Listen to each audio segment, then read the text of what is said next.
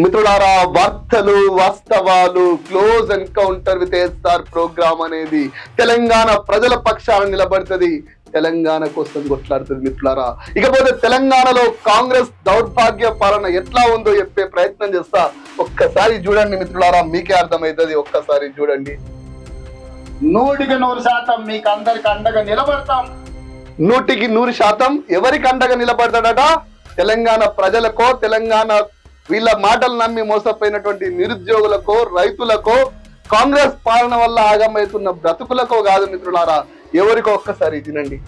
షర్మిల గారికి తోడుగా నిలబడతాం. షర్మిలకి తోడుగా నిలబడతాడట చిలక మనదే పలుకు పరాయందని చెప్పేసి నిండు సభలో కేటీఆర్ చెప్పిన మాటలు అక్షర సత్యం అవుతున్నాయి మిత్రులారా అక్షర సత్యం అవుతున్నాయి ఇక్కడ తెలంగాణ పాలన ఆగం చేసి పక్క రాష్ట్రం ఆంధ్రాకు పోయి మాట్లాడుతున్న మాటలు ఇనురి ఆంధ్రప్రదేశ్లో కాంగ్రెస్ను గెలిపించడానికి కాంగ్రెస్ పార్టీ కార్యకర్తలను కాపాడుకోవడానికి ఎలాంటి కార్యాచరణ తీసుకోవడానికైనా మేము ఈయన గెలిపించినటువంటి ఇక్కడి బిడ్డలు నాగం చేసి ఇక్కడి బిడ్డలకు ఇస్తా అన్న హామీల్ని తుంగల దొక్కి ఆంధ్రప్రదేశ్లో ఉన్న కాంగ్రెస్ కార్యకర్తల్ని షర్మిలను కాపాడడం కోసం పోయినటువంటి మూతవారి మాటల్ని ఇన్నాక మీరు ఒక్కసారి ఎలాంటి గెలిపించుకున్నామా ఆత్మ పరిశీలన చేసుకొని మిత్రులారా మీకే అర్థమవుతుంది. సిద్ధంగా ఉన్నాం.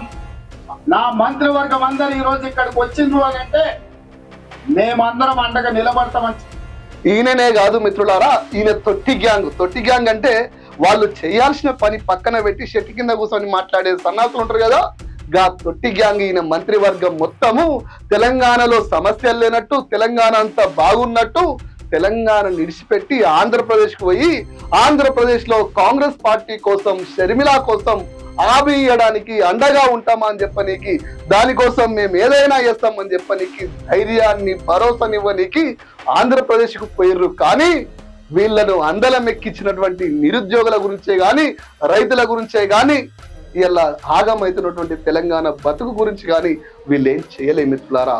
ఒక్కసారి ఆలోచన చేయండి. వీళ్ళు అబద్ధాలు చెప్పి నిరుద్యోగులకి మేము రాగానే రెండు లక్షల ఉద్యోగాలు ఇస్తాం. మెగా డిఎస్ అని చెప్పేసి మోతవారి డైలాగులన్నీ చెప్పి వాళ్ళు ఇలా అర్ధరాత్రి పూట ధర్నాలు చేస్తున్నారు కొందరు ఆమన్న నిరాహార దీక్ష చేస్తున్నారు వాళ్ళని పట్టించుకోకుండా రాత్రిపూట ఎమ్మెల్యేలను కొనాలి? పగటి పూట పక్క రాష్ట్రంలో హామీలు ఇవ్వాలి వీలు దొరికితే ఢిల్లీకి వెళ్ళి కాళ్ళు మొక్కాలే. ఇది తెలంగాణ కాంగ్రెస్ పాలన మిత్రులారా. ఇలాంటి పాలనను కొట్లాడి తెచ్చుకున్న నా తెలంగాణ కోరుకున్నదా? ఒక్కసారి ఆత్మ పరిశీలన చేయండి మిత్రులారా. ఆత్మ పరిశీలన చేయండి. ఎందుకంటే ఇది ఆగమైతున్న తెలంగాణ అయిపోయింది మిత్రులారా.